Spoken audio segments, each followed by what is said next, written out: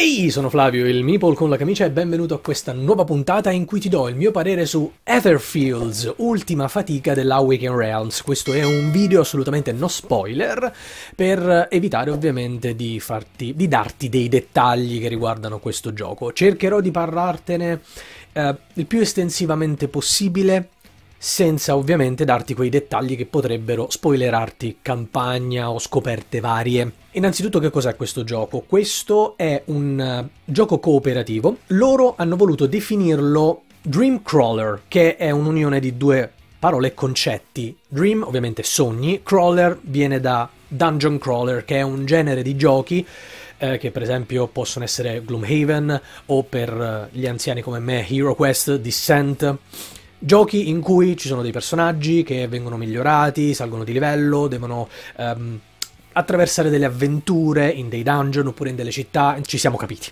Loro quindi hanno unito questi due concetti, il dungeon crawler e i sogni, creando questo dream crawler perché noi siamo dei personaggi non meglio definiti che eh, viaggiano attraverso questo mondo del sogno e devono cercare di scoprire chi sono, perché sono lì, che cosa è successo. Infatti il gioco inizia con zero informazioni. Noi siamo una tabula rasa e dobbiamo cercare di capire cosa sta succedendo attraversando insomma questo mondo del sogno. Giostreremo la nostra partita spostandoci attraverso delle città molto particolari e all'interno di sogni specifici per cercare di scoprirne i vari misteri. Nel mentre cercheremo di potenziarci principalmente migliorando il nostro mazzo, quindi c'è una sorta di deck building, noi partiamo con un mazzo, ogni personaggio ha il suo e può essere migliorato aggiungendo o rimuovendo determinate carte. Ma adesso ne parliamo seguendo la mia personale classifica di cose che secondo me un gioco dovrebbe avere. Partiamo dai buoni componenti. I componenti sono sicuramente di ottima qualità, la Wicked Realms comunque con i componenti sicuramente fa sempre centro, a partire ovviamente dalle miniature che già come puoi vedere sono enormi, davvero dettagliate, veramente bellissime. Uh, le, le, carte sono di buona qualità, i vari componentini, tessere, tesserine, le plance, tutto veramente di buona qualità belle consistenti. L'inserto diciamo che è comodo. Però se eh, metti le bustine protettive alle carte, le carte non ti rientreranno mai più nella scatola. E questa cosa sinceramente non ha assolutamente senso. Per quanto riguarda la grafica, la grafica è per la maggior parte molto scura. Ci sono mh, dei sogni in cui siamo un po' più allegri, mettiamola così. Ma per il resto è una grafica molto scura. A mio avviso sono stati fatti un pochino di errori proprio di design, a partire dal tabellone che come puoi vedere è storto. Dovrebbe essere girato così, ma purtroppo, a parte che potrebbe non entrarti nel tavolo, è proprio scomodo a livello ergonomico, perché qui hai la mappa cittadina, diciamo, e qui hai la mappa dei sogni. Se sei seduto da quella parte del tavolo, qui non vedrai assolutamente niente. Viceversa, se sei di lato, sei storto. Infatti è stata mossa un'enorme critica a questo tabellone e ne stanno facendo uno in forma orizzontale in modo da poter soprattutto vedere i dettagli che ci sono nei sogni perché sono molto importanti e molto piccoli. Come puoi vedere, occupa veramente tantissimo spazio che poteva a mio avviso essere davvero ridotto. Tutta questa parte centrale qui serve solo per tenere le carte, che si potrebbero tranquillamente organizzare fuori dal tabellone. Queste plance sono essenzialmente Uh, solo di abbellimento perché non hanno nessuna funzione. Quindi c'è tanto spazio occupato inutilmente. La grafica comunque è molto bella. Quando la puoi vedere da vicino, la puoi ammirare, guardi tutti i piccoli dettagli delle carte, delle tessere, delle tesserine. C'è stato fatto davvero un grosso lavoro di dettaglio, però ecco, un po' difficile andarle a vedere, capisci? Quando sei dall'altra parte del tavolo e poi le carte anche a questa distanza sono un po' piccine. Se vuoi veramente vedere bene un dettaglio, alla fine la devi prendere in mano, spezzando anche un pochino il disegno che creano. Tema legato alle meccaniche. Ora, il tema è quello che mi ha assolutamente attirato di più, perché nonostante io non prediliga granché i giochi cooperativi, figuriamoci dungeon crawling, la questione del sogno a me interessa tantissimo, mi ispira molto. E quindi ho detto, beh sì, questo deve essere davvero un gioco interessante. Tematicamente tu all'inizio del gioco non sai assolutamente nulla, sai che sei nel sogno, eh, sai che devi capire chi sei, sai che devi esplorare e tutto quanto si scopre nel mentre.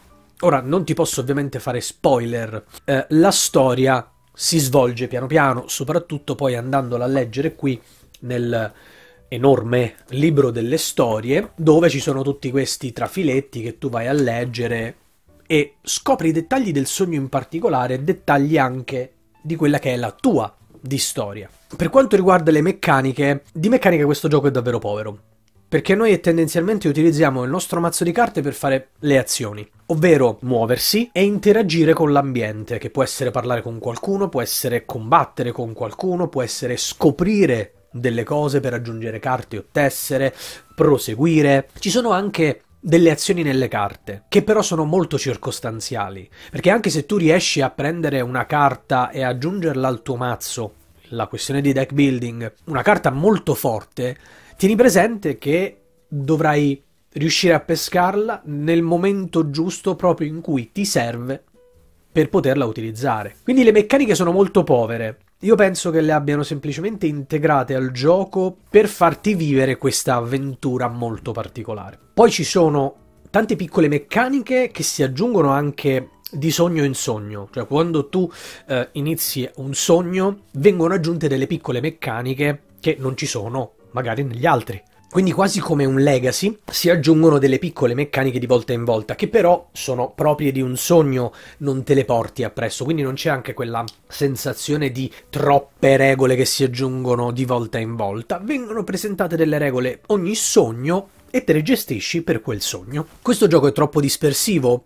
Ora, essendo un gioco tendenzialmente sandbox dove tu puoi fare un po' di tutto perché non hai un vero obiettivo, perché non sai assolutamente chi sei e che cosa sta succedendo, vero è che tu hai questi, diciamo, mini obiettivi che sono poi i sogni. Ne avrai anche 4 o 5 contemporaneamente e dovrai scegliere dove andare e quale affrontare. Quindi diciamo che questi ti indirizzano un pochino. Quindi dispersivo non direi. Questo gioco è adatto a tutti i tipi di esperienze, è un cooperativo, quindi l'esperienza agisce nel senso di sono un giocatore che ha già affrontato la campagna, non vedo perché devo rifarla con giocatori nuovi. Magari sì per vedere quali sono le loro reazioni, sono anni che non lo gioco, potrebbe darsi.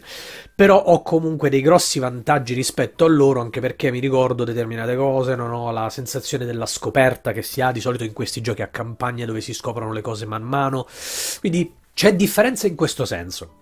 Regolamento comprensibile, schede di riferimento veloce e simboli chiari. Il regolamento è un vero disastro. Uh, credo che non l'abbiano neanche letto una volta che è stato scritto o fatto leggere da altri che non conoscevano il gioco perché è veramente buttato lì tutto a caso. Tant'è vero che lo stanno riscrivendo da capo. Hanno fatto un tabellone completamente sbagliato, un regolamento che non si capisce e adesso la community gli ha chiesto di rifarli da capo. E verranno dati, suppongo, in PDF o forse magari verranno dati in seguito fisicamente, però per adesso so che li hanno resi disponibili in PDF. E tra l'altro stanno anche realizzando un tutorial per il gioco per renderlo un pochino più fruibile. Il regolamento, ti dicevo, è fatto davvero davvero male. È difficile cercare di capire il gioco leggendo il regolamento. Tra l'altro, nel gioco c'è un tutorial. Ti introduce al gioco, però il tutorial prevede che tu abbia letto il regolamento. E il regolamento prevede che tu abbia fatto il tutorial. Quindi vedremo come andrà con la nuova iterazione del regolamento. Difficile quando hai un dubbio, infatti, andarlo a cercare sul regolamento. È stato proprio un dramma all'inizio. Per quanto riguarda i simboli, ce ne sono tantissimi, però la, pos- la, cosa positiva è che non sono tanto difficili e vengono comunque inseriti man mano, piano piano, e ti vengono spiegati un pochino alla volta, quindi qui hanno fatto un buon lavoro.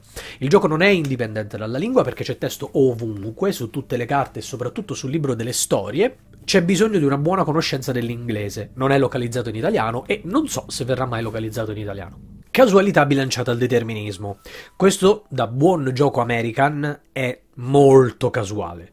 C'è pesca di carte di continuo e lancio di dadi, dove magari la pesca di carte non può tanto stravolgerti quello che succede in partita, a parte alcuni casi, il lancio dei dadi sì, può capitare che per un lancio del dado ti vada a monte un sogno e dovrai rifarlo da capo, tra l'altro questa è una cosa che ti capiterà spesso, dover rifare più volte i sogni, anche perché eh, ci sono un determinato numero di round entro il quale devi fare i sogni, quindi anche un pochino di pressa. La casualità influisce molto in questo gioco e alle volte può dare anche fastidio. Curva di apprendimento. Lasciando da parte il regolamento che è un dramma, le regole non sono tante neanche difficili, quindi apprenderlo con un buon regolamento eh, non è difficile. Tra l'altro vengono aggiunte piano piano tante regole, però sono regole che magari sono proprie di un sogno, quindi poi non te le devi portare appresso e quindi non hai questo carico di regole come ti accennavo prima. Quindi diciamo che tendenzialmente è un gioco facile da apprendere. Per quanto riguarda la durata delle partite, la decidi tu fondamentalmente perché è un gioco a campagna, è un gioco dove tu quando vuoi ti fermi, salvi e poi riprendi la volta dopo. Puoi giocare mezz'ora, un'ora, due ore, tre ore, quello che vuoi tu. Ovviamente più giocatori ci sono e più il gioco si allunga. Tra l'altro, il metodo di salvataggio di questo gioco credo che sia il migliore che abbiano fatto fino ad adesso alla Waken Realms, veloce da preparare e anche da salvare. Interazione, essendo un gioco cooperativo, è un gioco molto interattivo perché eh, si discute, si parla insieme, si fanno le azioni insieme, magari io vado di là, tu vai di là, anche se quando si è nella mappa generale ci si muove come un'entità unica, mentre invece nel sogno ci si può anche dividere. Ci saranno sicuramente due scuole di pensiero per quanto riguarda riguarda la scalabilità di questo gioco, ovvero sì, il gioco scala bene o male, ma nel senso è meglio giocarlo in solo, è meglio giocarlo in due, in tre, in quattro. Come è capitato anche per This War of Mine e Tainted Grail, dipende molto da te. Va benissimo in solo, va benissimo in due, in tre, in quattro, dipende dal tipo di gioco che vuoi tu, dall'interazione che vuoi tu e da quanto ti piace comunque godertelo con gli altri giocatori. Variabilità al setup. Ora, qui non c'è una vera e propria variabilità al setup quando tu prepari il gioco di volta in volta, piuttosto è una variabilità generale durante tutta la campagna, perché tu più vai avanti, più scopri cose da aggiungere e più si crea, no? Variabilità. Vero è che una volta che hai finito la campagna non vedo il motivo per rifarla di nuovo, se non magari dopo che sono passati anni e ti sei dimenticato tutto quanto. Sì, durante la campagna non scoprirai proprio tutto, tutto, tutto. Però rifarlo da capo per andare a ritrovare quelle piccole cose che ti sei perso? Difficile. In definitiva, che cosa penso di questo gioco? Un gioco con un tema molto interessante e originale che speravo però potessero sviluppare un pochino meglio. Speravo potesse essere un pochino più coinvolgente, anche a livello delle storie, che dopo un po' sono forse un po' ripetitive. A livello di componenti sicuramente ottimi, a parte l'ergonomia che come ti dicevo, il tabellone e le plance totalmente fuori luogo, infatti stanno già ponendo rimedio. È un gioco ovviamente devi tenere presente a tanta casualità, quindi le cose ti possono andare all'aria da un momento all'altro, però ovviamente tu lo sai dall'inizio che è così. È un gioco American, d'altronde. È un gioco che puoi immaginare come tante piccole escape room ok? I sogni li puoi proprio immaginare come se fossero delle piccole escape room. E se ti piace ovviamente quel concetto, questo potrebbe essere proprio il gioco che fa per te. Ora c'è un piccolo dettaglio, qui andiamo un po', pochino pochino nella zona spoiler. Quando sei in un sogno, ti fai il sogno, cerchi di farlo entro un determinato uh, numero di round, scopri determinate cose, vai avanti con la storia, piccoli dettagli. Quando invece ti muovi sulla mappa generale, eh, essenzialmente tu ti muovi per cercare di ottenere queste chiavi che ti servono per entrare nei vari sogni. Nel farlo ti troverai molto spesso a combattere in questi slumber, che sono dei piccoli sogni in cui tendenzialmente tu devi affrontare degli incubi, alcuni possono essere comunque saltati. Devi affrontare questi incubi, queste situazioni che spezzano davvero tanto il gioco e lo rallentano sensibilmente. Probabilmente li avrei resi un pochino più semplici e sbrigativi perché allungano semplicemente il brodo secondo me. E questo è tutto, io ti ringrazio per aver guardato quest'altra puntata, se hai dubbi o domande di qualsiasi tipo mettili nei commenti e risponderò appena possibile. Se ti piacciono i video che faccio considera l'idea di iscriverti al canale e di cliccare sulla campanellina così ogni volta che ne pubblico uno ti arriverà una notifica. Io sono Flavio, il Meeple con la camicia e ci vediamo alla prossima.